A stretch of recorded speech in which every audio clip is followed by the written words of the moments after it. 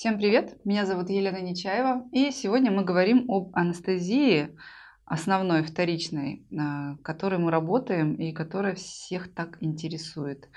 Вот у нас три ингредиента, которые а, мы смешиваем для того, чтобы она у нас получилась.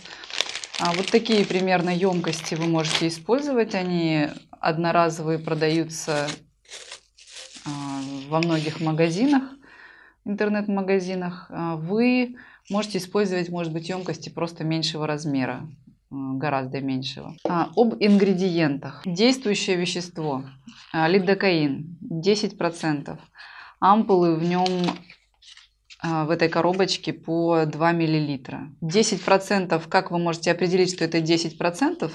На упаковке, во-первых, э, когда покупаете, вы должны спросить, но многие забывают и просто говорят, дайте мне лидокаин в ампулах. И а, автоматически а, фармацевты продают э, двухпроцентный лидокаин. Двухпроцентный лидокаин вам вообще не поможет, он просто его не будет чувствовать, он не сработает. Вот здесь, смотрите, написано раствор для инъекций 100 мг на миллилитр. То есть вот а, это 10% лидокаин. У вас будет написано 20 мг на миллилитр, либо 50 а, мг на миллилитр, это 5%. Но он тоже так себе а, работает. На самом деле на бровях, допустим, у губах можно вообще полностью без анестезии работать, даже без этого, если вдруг у вашего клиента аллергия, допустим. Но в общем и целом лучше всего, особенно для нервических особ, работать обычным 10% лидокаином. А, второе действующее вещество а, – это адреналин. Вот такая коробочка. Адреналин – это его синтетический аналог эпинефрин. Ну, всегда написано адреналин на коробке. А, в некоторых аптеках продается по рецепту, во всех интернет-аптеках продается спокойно. То есть найти вы его можете и работать им прекрасно можете. Ампула в два раза меньше по размеру в сравнении с лидокаином. Адреналин хранится в холодильнике. Насколько я знаю, сейчас появился уже э, адреналин, который можно хранить не в холодильнике, но вот конкретно этот у меня, это э, тот, который хранить при температуре не выше 15, по-моему, градусов, поэтому это холодильник. Он теряет свои свойства. И фенистил гель. Именно гель, не крем, не что иное, а гель.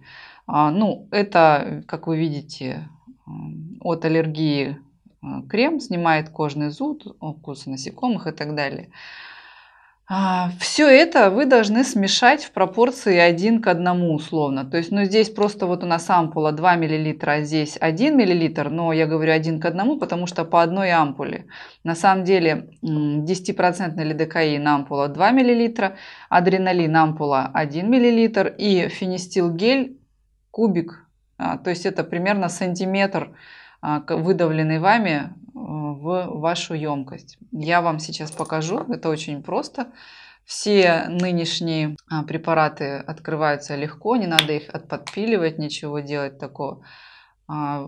Я обычно вытряхиваю таким образом, держу пальцами, чтобы у меня не провалилось в баночку. И просто вот так выстукиваю весь его потому что я не люблю заморачиваться со шприцами, а, чтобы его оттуда доставать иглой, втягивать. Все, она пустая. То же самое я делаю с лидокаином. Где у меня точечка?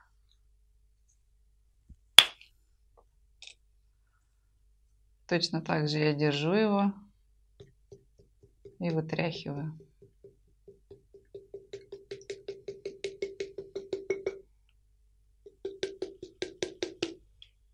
Все, она пустая, я ее выбрасываю.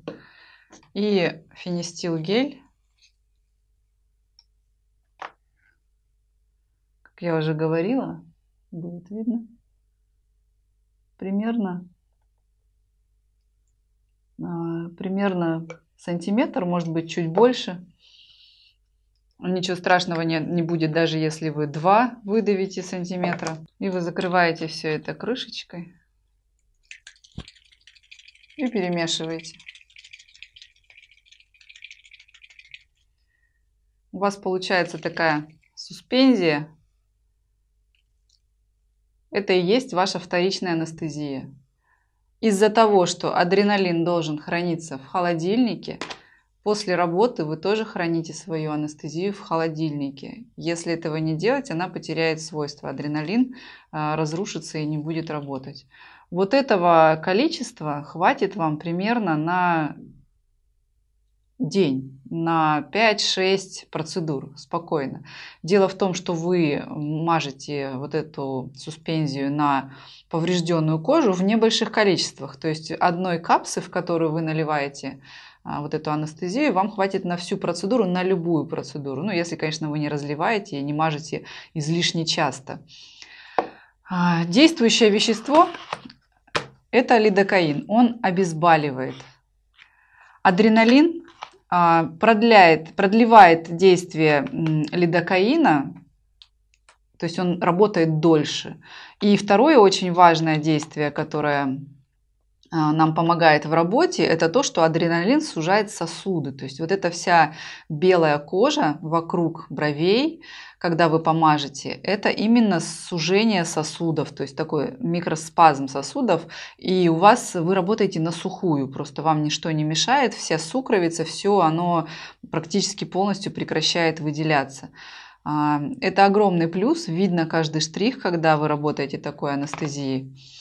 Кожу она не дубит, стоит, как вы сами видите, копейки. То есть вот тут 85 рублей, тут 25 рублей. Финистил тоже, не знаю, ну, рублей 150, наверное, стоит, но это очень большая, а, большой тюбик, и его хватит очень надолго. А, вот прям очень просто делается. И пользоваться тоже а, ей очень просто. Вы просто мажете на поврежденную поверхность. На обычной коже, не поврежденной, эта жидкость не сработает. Абсолютно. А, существует такое заблуждение, что лидокаин 10% может вызвать ожог тканей. Ну, это прям ерунда. Почему? Потому что я работаю на этой э, анестезии уже больше 6 лет. Э, все эти студии наших сделано много не знаю, десятков уже тысяч процедур вот при помощи этой анестезии. Э, и никаких последствий в виде ожогов не было. Это парамедицинский бред. А, более того, 10% лидокаин, разбавленный фенистилом и адреналином, уже таким, как вы понимаете, не является. То есть здесь его концентрация гораздо более низкая. Но срабатывает он отлично, вплоть до полной отсутствие чувствительности. То есть клиент может даже не понимать, что вы там с ним делаете, а, потому что анестезия это очень хорошая. Кожу не дубит, повторюсь. Это максимальное действие, 25-30 минут, и вы снова можете подмазать. Чаще не надо, потому что чем чаще вы наносите эту анестезию, тем она все более слабо работает и более короткий срок. Поэтому мажьте примерно реально в, через там, каждые 20-25 минут, не чаще. Эту анестезию придумала не я, а, я когда-то давно вычитала о ней на форуме и как попробовала, с тех пор ею и пользуюсь. А, вы должны перед началом процедуры у своего клиента узнать, нет ли у него аллергии на компоненты, теми, которыми вы будете работать. Это очень важно, ну, это вообще, в принципе, обязательное правило. И вы можете прекрасно работать на всех зонах а, на поврежденной коже этой анестезии. Если у вас останутся вопросы, пишите, с удовольствием вам их на них отвечу. А все, всем спасибо за просмотр. Всем пока.